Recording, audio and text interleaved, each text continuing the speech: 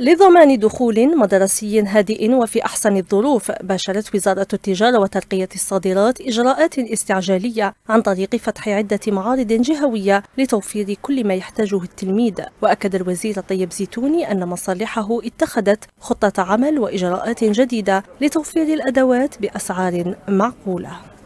قدمنا نداء نداء للمساهمة وللمشاركة نداء لضمير لأن أبنائنا اليوم عندنا كاين فئات كبيرة مش قادرة تقتني الكراس.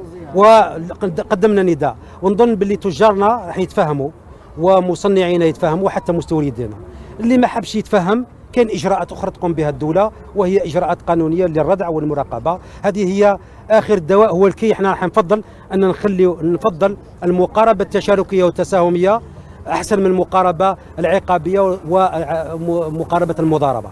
وفي السياق ذاته يؤكد المنتجون أنه بفضل التسهيلات المقدمة من قبل الدولة وصلت نسبة تغطية المنتجات المصنعة محليا إلى 50% هذه السنة. بالنسبة للتغطية في السوق المحلية راهي تقريبا 2023 راح تكون في 50% بالنسبة للكارتوش ولا الماركر. بالك 2024 نوصل لاكتفاء. الاكتفاء الذاتي تاع الجزائر.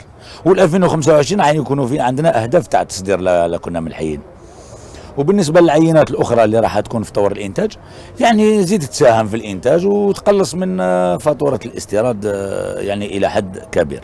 عندنا الأسعار عندنا من 100000 تقدر كان عندنا حتى من 70000 من 70000 عندنا حتى ل 300000 330 ماكسيموم هذه مثل هذه المعارض تتيح للأولياء اقتناء الأدوات المدرسية بأسعار في المتناول كما تحفز العارضين على تسويق منتجاتهم المحلية والترويج لها.